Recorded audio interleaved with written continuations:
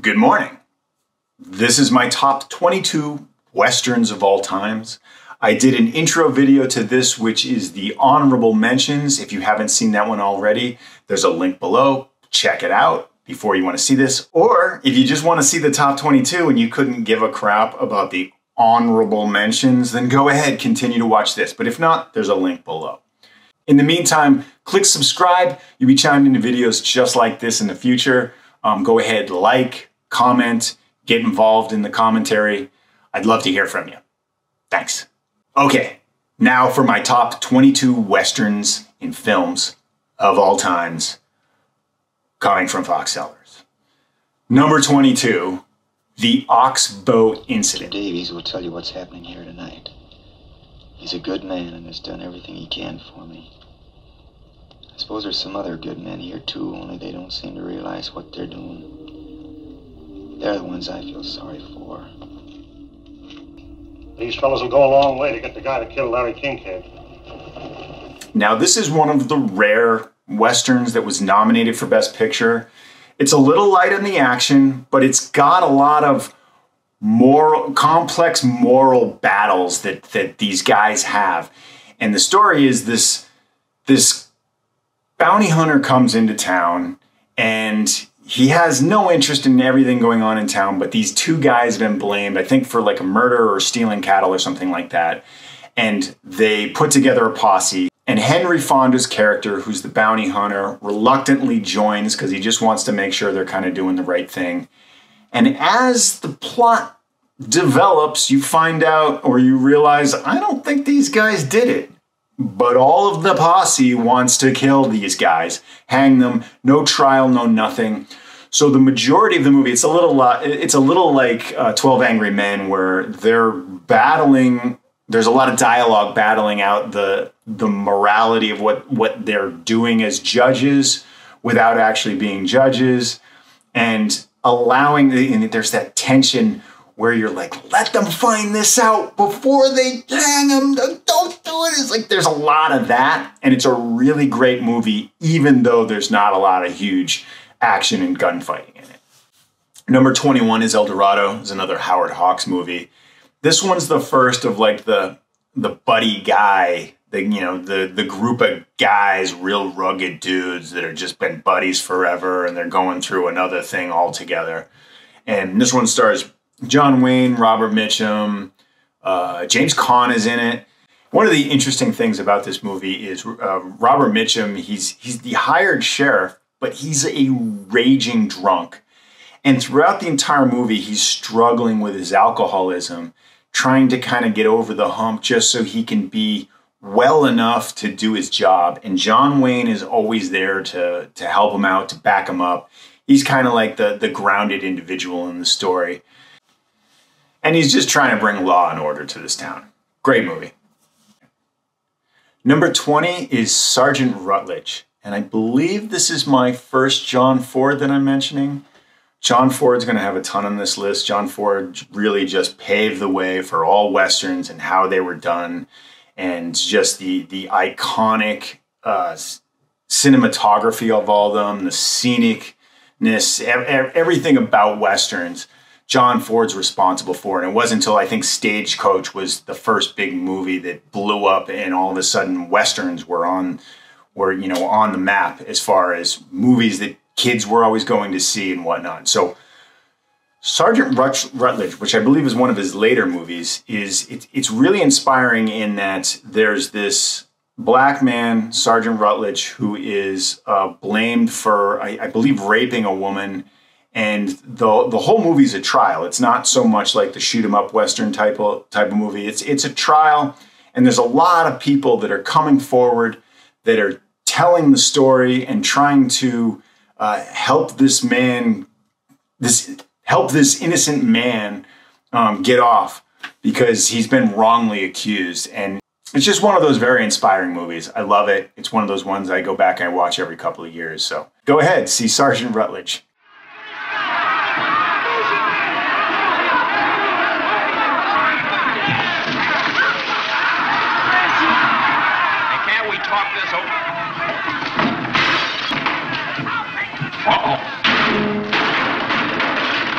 Used to play one of them. Number 18 is Once Upon a Time in the West, which is, you know, you know, before I saw, I, I saw this movie recently, it was for the first time, and immediately went on the list. But it was one of those ones where I was just like, ah, just going through the motions. I'm like, I'll watch that movie. And the whole time I'm watching it, I'm the cinematography in it, just the way everything was shot, the the the lighting in it, everything was just fantastic. Just the composition of every shot. I think it's Sergio Leone. In my opinion, I think it's his best movie. Uh, and Henry Fonda as a bad guy, I mean, as much as he's a great good guy, he is an unbelievable bad guy in this. It, it's really just a beautifully done movie. It would be higher up on my list, except I'm not a huge fan of the plot. The plots, I mean, it's more or less like each of the scenes are interesting, the way that the the dialogue goes back and forth and, and the, the discomfort you feel for a guy even being in the room or what they've got to go up against. That's really what, what drove the, the movie to be as great as it was. Not the overall plot, but um, you know, if you get the chance and you haven't seen it, please see it. You got it. Number 17 is The Cowboys. Now, this is a later John Wayne movie, but this one is, I, you know, I feel like this one somewhat inspired City Slickers. It's got this idea of uh, a cattle drive being done by people who don't do a cattle drive and just really shows you the hardships of it. The scenario that, that occurs here is they don't have people to drive this, this massive herd of cattle to where they need to be. So what they do is they recruit all the kids in town to do it. Now it's not a big John Wayne driven acting piece. It's really about all of these other kids in the movie, and then John Wayne is kind of the mentor to him. And also, I'll note it's it's one of the first really great John Williams scored films. So the music in it is just absolutely fantastic, and he takes a little bit of like that Magnificent Seven along with him to to the score. Um, I mean, the score alone stands all by itself. So the Cowboys is one of my favorite westerns. I, I always I always go back and watch it because it, it's one of those movies that leaves a smile on your face either in the middle of it or by the end of it. Number 16 is One Eyed Jacks. Now, I'm a big Marlon Brando fan, but I don't love this movie because of Marlon Brando. Yeah, I mean, he does a fantastic job, by the way. But the movie, I mean, he and he direct. This is the one movie he directed, which is very odd. But he took he took painstaking time through all of these scenes, and he went way over budget. And the, the studio was just like, "Oh, just get the shot for Pete's sake." I mean, he had this. There's this one scene where he like he's waiting for the sun to set just a certain way, and they they take half the day. Or there's like there's there's one where he's on the beach and they're waiting for the waves to hit a certain way, and he just he sat there and filmed the whole thing all day just to get the one shot. So naturally, that's kind of how he went he went over budget, but. This is one of those movies where, like, first watch, you're like, yeah, that's a good movie. Second watch, that's a, that's a good movie. I've seen this movie four or five times, and each time I see it, I'm like, this is just an absolute masterpiece. Going back to the acting, though, the, the one of the things I really love about it, and it's very reminiscent of like On the Waterfront, is Karl Malden and Marlon Brando's acting scenes together are just so awesome. They just they have this just tension and anger that's in their hearts. And there's so many scenes where like Marlon Brando doesn't even speak. He just has this look in his eye that he's just gonna tear your heart out whether it's from the grave or he's going to get out of this somehow and, and, and do something to the other guy. But there's just, there's some really awesome scenes. And they also have some very clever fight scenes where like they're not always using a gun. There's like kicking a table in a certain direction that manipulates the room. There's there's a lot of that in it. And I feel like they choreographed a lot of those scenes to make them the what they were. Yeah. I think I'm gonna go back and watch that movie again because now I just got psyched up for it. Number 15 is Rio Bravo, which is another Howard Hawks movie. And just like all his other movies, they, they feel good, even though like sometimes the subject matter is, isn't like feel goodish. There's just this one is another buddy, bunch of guys. They they really bond together. They work as a great team. And that's really one of the great things about a lot of the Howard Hawk movies. And in this one, it's got like Ricky Nelson, I think, is in it, and uh, John Wayne and Dean Martin. Dean Martin kind of plays the part of like Robert Mitchum's character from the, the, one of the earlier ones we discussed. Walter Brennan is in it, and Ward Bond is in it, and I mean he did a million different, you know, John Ford movies. So um, kind of iconic uh, cowboy type characters or actors that show up in this movie, and and they're all I, I think they're protecting like a, a prisoner in their cell, and they're all working together as a team to kind of you know protect him and ward off these guys. It's got a lot of great gunfight. It's got a lot of clever little dialogue back and forth, um, and, and and a tinge of comedy in it. So um, enjoy if you haven't seen it. Number fourteen is my other Quentin Tarantino, The Hateful Eight.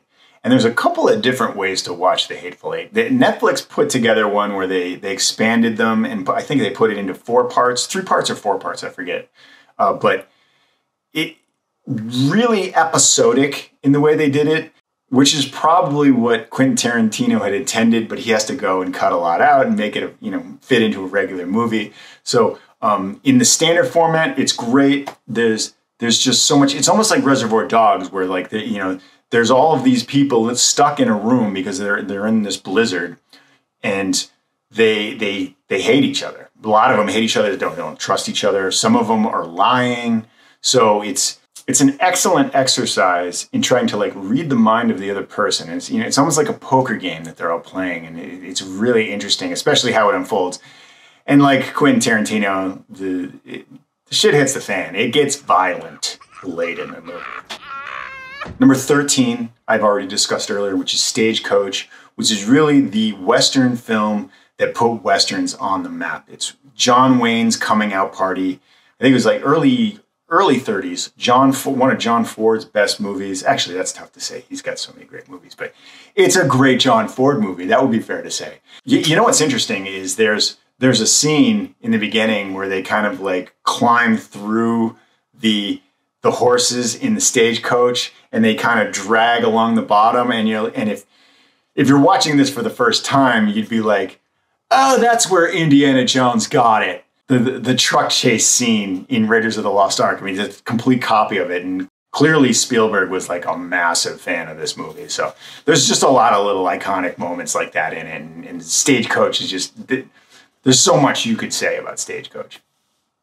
Number 12 is Tin Star, which is really great movie uh, starring Anthony Perkins, Henry Fonda, and a very simple plot, but at the same time, it's got really interesting dialogue all about learning how to be a sheriff. Where Anthony Perkins is kind of like this greenhorn tenderfoot who, who really shouldn't be the sheriff, but he's got this morality to like rise up and kind of stop all the the the mayhem that's going on in town. And he's the only one that'll do it. Everyone's afraid to do it because they know they'll get shot. So he's he's in a situ- he's in way over his head. And Henry Fonda is this bounty hunter who comes to town. He's turning in one of the bounties that he's he's recovered, and he's reluctantly there. Like he's like, I'm going to get out of town, but he realizes that this Anthony Perkins sheriff is in way over his head. So he's he sticks around to help him out. Um, got a, kind of an attitude, but as the the film progresses, they become buddies, and you really love all the little tips because you there's so many times you you watch an old western or, or any genre for that matter, and you, you wonder like, oh well, how how how is that? Like how did how did they learn how to do that? And and what's the strategy with this? And, and Henry Fonda gives all these little tips on how to be a sheriff and why this is dumb and why you should do this. So, uh, and just out of curiosity, please check out Tin Star. It's a great western. Number eleven, Pale Rider. Now this is the first of the really gritty Clint Eastwood's that is on the list here, directed by Clint Eastwood. And this is like a dark, dark movie. The, the protagonist really is an enigma throughout it. You, you, know, they call him the preacher, so I, I don't believe he has a name in the movie, but he's a he's a pretty dark character, uh, scary on a lot of levels. But um, I'm sure everybody's seen the Pale, Pale Rider. It's it's on the list because it's it's Pale Rider. Okay, Number 10 is my favorite of the Sam Peckinpah movies, and that is Ride the High Country. Now, Ride the High Country, bit off the beaten path as far as Westerns go, but it has this, I, I believe it's the Sierra Nevadas where they, where they kind of go up and there's there's all this gold and they're being they're being followed, they're being hunted. So it's got a lot of really great tension, a lot of great gunfighting, and a lot of like what's around the next corner. And you're you're afraid for some of the characters as they go through this process. Number nine, I'm gonna cheat a little bit. I'm putting two movies together, and it's my list, and I can do whatever I want. And the two are Young Guns and Young Guns 2. Now, it might not seem fair to put those two together on the list because they're both very different movies. Young Guns, the first one, is a bit more th- theatrical. It's got a little, a lot more grittiness to it. I think the plot of the first one is much more interesting because it takes this time in the life of Billy the Kid and just has this one incident that's extremely interesting and kind of elevates that as the climax of the movie. And then he doesn't die at the end of it, but I don't think they planned on making a, t- a sequel to it. So they kind of tie it up at the end and, and they just do like a, you know, a, an epilogue to it where they, they say, hey, this is what happened to everybody. You know, and then they went on and made two anyway. Now, two, very different, just as fun. They both, they're, they're both these rare movies in the 80s because nobody was making Westerns in the 80s and 90s really. But these kind of just lit up. It's, it's got the whole Brat Pack gang to it. It's just a lot of fun. It's it, it, it's humorous. It's got great action. I, wanted to be able to get both of them in there. I'm undecided which one I like better. I really am, like because because it just depends on my mood. One of them is it, Young Guns Two. I think is is a less of a caliber or quality film, but I just love it so much and get so excited when I see it. I'm like, it doesn't matter. It's it, it's like having the vice of loving Pee Wee's Big Adventure. Whatever it's great. I don't care. And I say that for Young Guns too. The first one, maybe a little more pristine on a lot of levels, but I can't say which one I like better, so I put them together. Number eight on my list is Shane. And this is one where it's like everyone's like, of course, you got to have Shane on the list. It's just the quintessential Western guy comes to town. He's got a lot of talent as a gunfighter and he protects. It's almost on the same level as like the the um, the Magnificent Seven or the Seven Samurai or any A Team episode where he he comes to town and he protects this small family that's being harassed by you know some shady characters in town, and he sticks it through with them till the bitter end. Shane is really one of the most iconic Western films of our time. Number seven is The Outlaw Josey Wales, which is an it's one of the earlier Clint Eastwood directed movies. And like a lot of his movies that he directed, they're very gritty, they're very dark. But this one has an underlying theme throughout it that's it's really interesting. It's kind of the anti-war film, which shows you like this is a character who went through the Civil War and here's the byproduct of that, and here's the byproduct of the America around him. And on just you know scene after scene after scene there's just a lot of like you know darkness to it because this is this is what this is the remnants of that war. Number six is the searchers which uh, you know it, it, as i go through this list i'm like oh my god that's one of my favorite movies. I'm like yeah it, it's searchers is great. It's got you know, you know the thing about some of the the older uh, john ford movies is the scenery. You just look at the scenery and you're like, oh my God, I just romanticize about the Old West or just traveling across the country or just, you know, the, the landscape is just amazing. And that, on top of the fact that it is one of the greatest plots, it, it says a lot. I mean, it's, it's such a great movie. And there's also, inter- there's an interesting thing for John Wayne's character in that he, I mean, he's this racist character who's going after his I, I, believe it's his niece who was abducted by uh, Native Americans long, long time ago, and then she becomes one of them. And then once she becomes one of them, he becomes prejudiced towards his niece.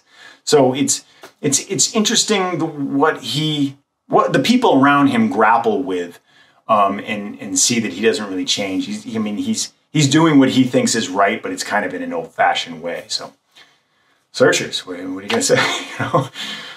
Number five, The Magnificent Seven. And The Magnificent Seven is, is super exciting. It's got the big theme.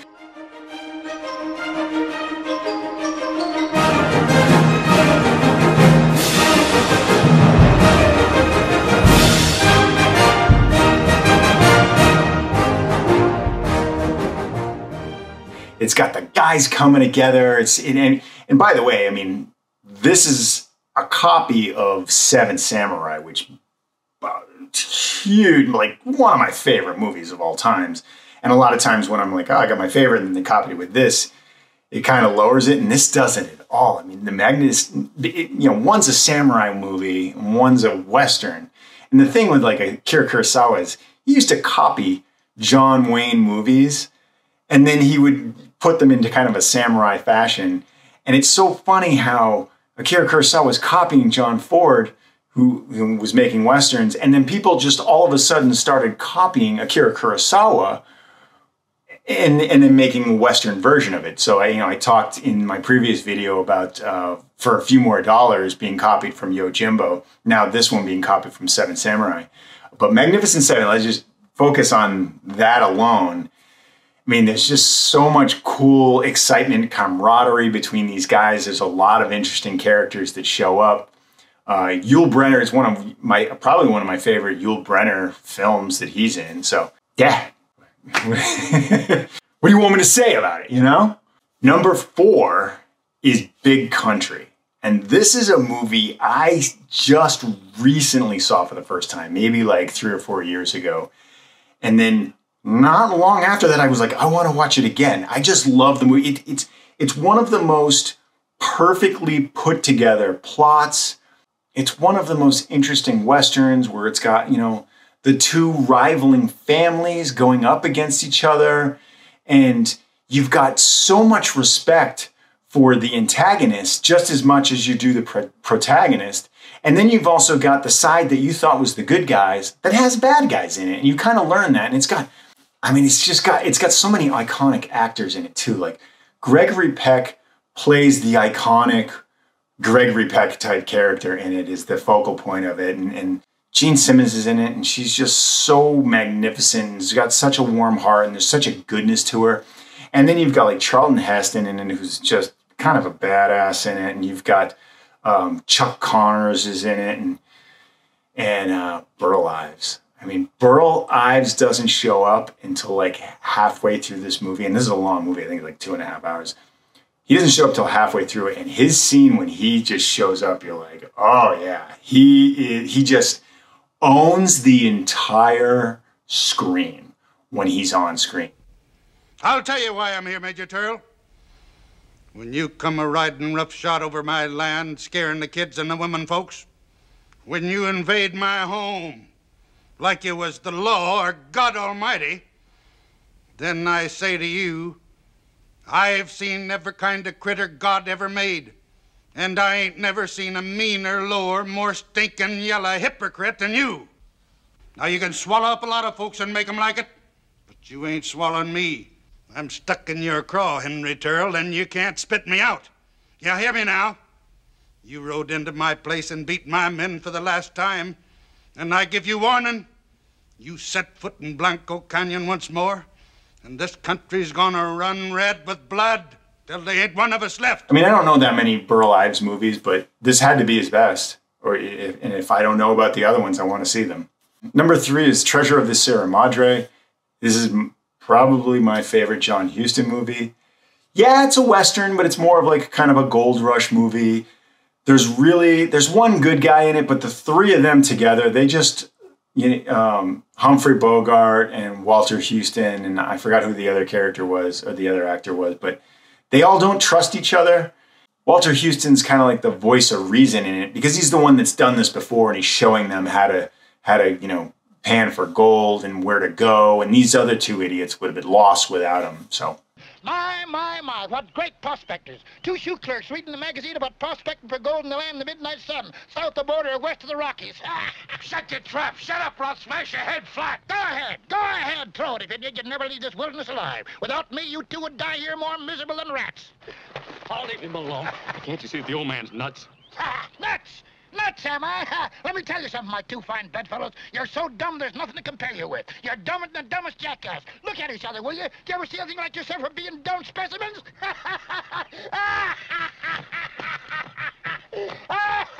You're so dumb, you don't even see the ridges you're treading on with your own feet. and the thing is, you're not rooting I mean, you're probably rooting for Walter Walter Huston in it. Um, oh, and he won Best Actor, I think, for that too.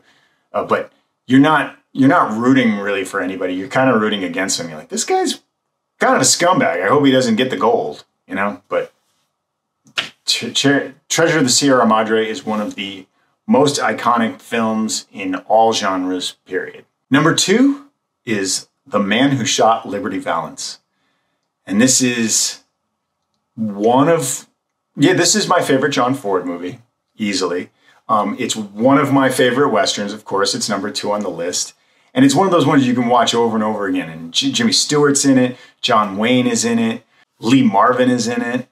And it's really just a super interesting story. It's told from the storytelling point of view where Jimmy Stewart comes back to town and he tells the story of the man who shot Liberty Valance, and everyone thinks it's him. And he's trying to tell the story of, you know, how it really unfolded um, and how this town was held in a vice by this guy, Liberty Valance, who was just an outrageous douchebag. Man Who Shot Liberty Valance is one of my favorite movies of all times across any genre. I don't care. And number one, you're probably guessing it because it hasn't been included from number two to 22. So, Unforgiven, directed by Clint Eastwood, starring Clint Eastwood, also starring Gene Hackman, Morgan Freeman, Richard Harris. One Best Picture was nominated for a whole bunch of other stuff. One, I think Gene Hackman won for it, uh, Best Supporting Actor. It's just, you know, I think I've said this before in several other videos. They, they weren't making westerns really in the 80s and 90s. And Clint Eastwood didn't care. He's like, oh, I'm going to make the best one. I've had lots of practice. Here's how to make the best western. And it really puts a lot of weight into the consequences of a life of being a gunfighter and killing people and how that weighs on you and then trying to actually have a life after that. It, it has got a lot of it's got a lot of pain in in its in, in the thought of of what they're all going through. And then it's also got a lot of characters who are unscrupulous and just have no morals whatsoever. And they brag about it. And some of them you see like yeah they're they're putting on a face. This isn't the real this isn't the real deal. But Unforgiven. I mean, it's it's probably my top ten greatest movies of all times. It's easily my favorite western, and that's why number one, The Unforgiven. I want to thank you for watching. I'm Foxy Sellers. Right before you go, if you would, please click subscribe, and you'll get chimed into videos just like this or anything to do with entertainment and storytelling. Thanks.